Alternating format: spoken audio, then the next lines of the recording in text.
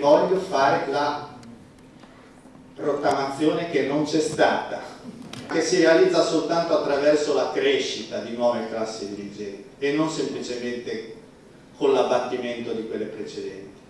Parole applaudite che in qualche caso hanno provocato anche commozione, quelle del ministro della giustizia Andrea Orlando che ieri sera si è presentato alla sua città come candidato alla segreteria nazionale del PD.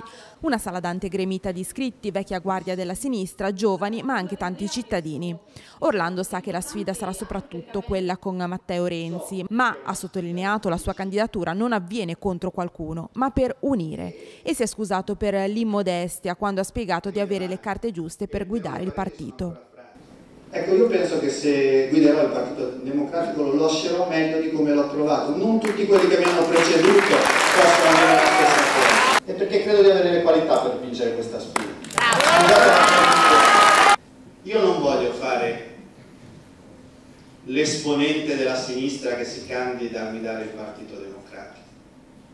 Io voglio fare il Partito Democratico Secondo il ministro il PD è prigioniero di un algoritmo oscuro dove sembra più importante confliggere con i propri compagni che con gli esterni. Per capire il populismo Renzi non doveva andare in California, ha proseguito, ma in Michigan dove gli operai hanno votato Trump. Necessario mettere al centro del discorso politico il tema dell'eguaglianza come ha fatto Papa Francesco. Sullo strappo con i fuoriusciti dal PD Orlando è convinto che si debba continuare sul dialogo. Noi dobbiamo fare di tutto per eh, continuare fino all'ultimo momento a coltivare la via dell'unità, eh, dopodiché se questo non sarà possibile dobbiamo rivolgerci al, non più ai gruppi dirigenti ma ai militanti, agli elettori dicendo che è una cosa molto semplice, che le divisioni nella sinistra hanno sempre agevolato la destra. Sulle amministrative spezzine la linea non cambia, occorre un nome che unisca senza muro contro muro. Non esiste nessun muro da parte mia, ecco. se, se io penso che sia meglio quella strada, se invece se ne vuole percorrere un'altra segnalo che bisogna però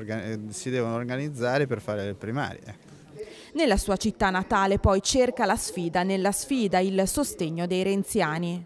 Lo do quasi per scontato. Una riflessione anche sul tema del lavoro e del Job Act che Renzi ha rilanciato con l'idea del lavoro di cittadinanza. Io farò una proposta in proposito nei prossimi giorni, credo che sia la questione cruciale per la quale abbiamo anche pagato, non avendola risolta abbiamo pagato anche un prezzo molto alto in termini elettorali e di, di, di divisione sociale. Credo che sia importante però invece sul fronte del Jobs Act fare una seria valutazione di che cosa ha funzionato e delle parti che invece hanno funzionato meno.